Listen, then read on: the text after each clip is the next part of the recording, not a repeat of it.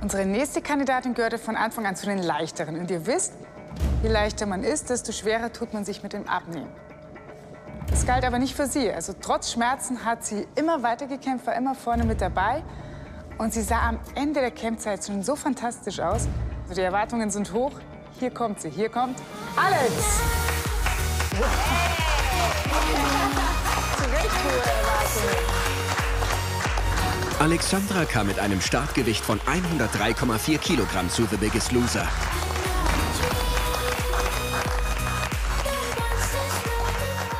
Alex, sensationell. Also ich habe sie natürlich gesehen, vorher schon, weil ich mit ihr trainiert habe.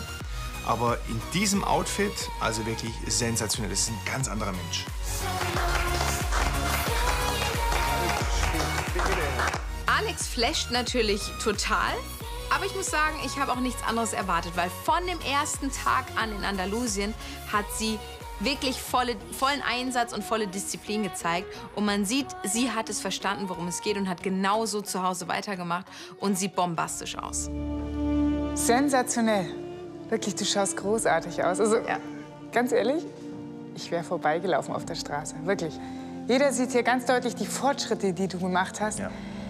Was ist für dich selbst der größte Meilenstein? Der größte Meilenstein ist einfach, dass ich ähm, jeden Tag zusehen kann, wie es, wie es weniger wird, äh, wie ich ähm, mich immer wohler in mir fühle. Und ähm, ja, ich kann das irgendwie selber noch gar nicht so fassen, dass ich, das mein neues Ich ist.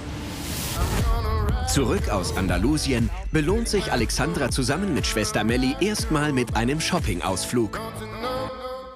Meine Laune früher beim Shoppen war äh, sehr deprimierend. Also ich war sehr schnell frustriert, ähm, hatte dann keine Lust mehr und bin schnell eigentlich aus dem Laden wieder raus.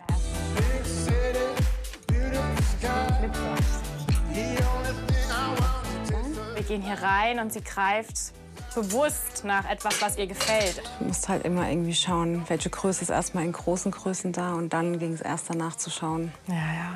Ich weiß. was passt. drauf, aber da langt Ihnen eine S. Die Dame hat gesagt, du sollst S nehmen. Nimm dir jetzt eine S und meinetwegen auch eine M mit. S und M. Ganz ungewohnte Größen für die 33-jährige Erzieherin. Sie sieht so toll aus. Ich, ich bin einfach nur sprachlos eigentlich. Also wirklich überwältigt. Ganz toll. Und es passt alles. Und es ist sogar zu weit. Hier. Es macht richtige Gaudi, jetzt einfach Klamotten anzuziehen und sie passen, sind tendenziell sogar zu groß. Ähm, ja, das ist ein ganz neues Gefühl, kennt man so nicht oder kenne ich so nicht. Ja, mega. Guck doch mal. Das gibt's ja überhaupt nicht. Die Hose. Ja, geil. Es ist noch so unreal, dass ich das bin. Also ich habe das irgendwie vom, vom Hier noch überhaupt nicht ähm, ja, verstanden und realisiert. Fällt mir total gut. Ich freue mich. Ich bin so stolz auf dich. Ich gehe mit einem total tollen, ähm, glücklichen Gefühl aus dem Laden. Ich habe eine Tüte mit einer Hose in S. Ich bin mega stolz auf mich ähm, und freue mich, die Klamotten ganz bald jetzt tragen zu können.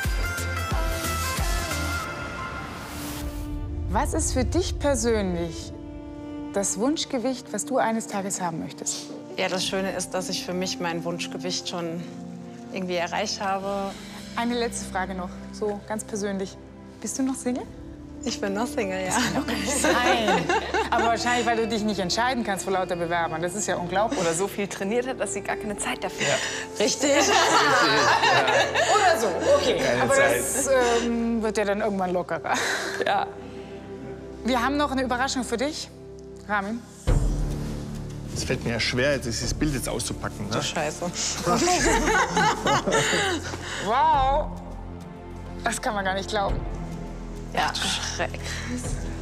Neben der anderen Alex, der alten Alex in Lebensgröße zu stehen, ist ähm, super erschreckend gewesen. Ähm, Ich war total geschockt. Man kann sich jetzt nur ein paar Wochen, Monate später gar nicht mehr vorstellen, dass ich mal so ausgesehen habe und ähm, dass ich so durch den Tag gelaufen bin. Und ähm, ich bin froh, dass ich so nicht mehr aussehe.